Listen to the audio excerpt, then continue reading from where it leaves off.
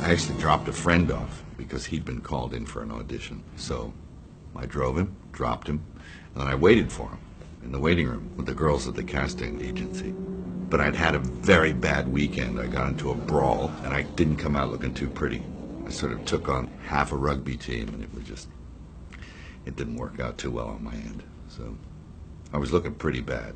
They took Polaroids because I was like really every color of the rainbow, and they put them up. And they said, "Man, we need freaks in this film." He says, "When when you heal up, come back and see us." I was a young actor, and nobody had a job, and I thought, "What the hell?" Um, so that was an attraction enough. It could have been a commercial for toilet cleaner. I would have gone for it, you know, to earn a buck. So I went back, and they said, "And you are?"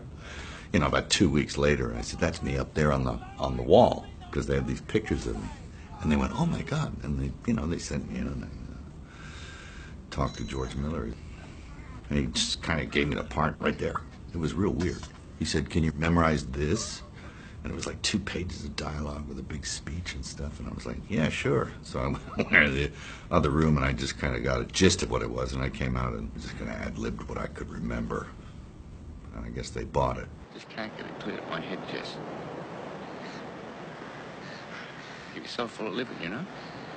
You ran a franchise on it. Now there's nothing.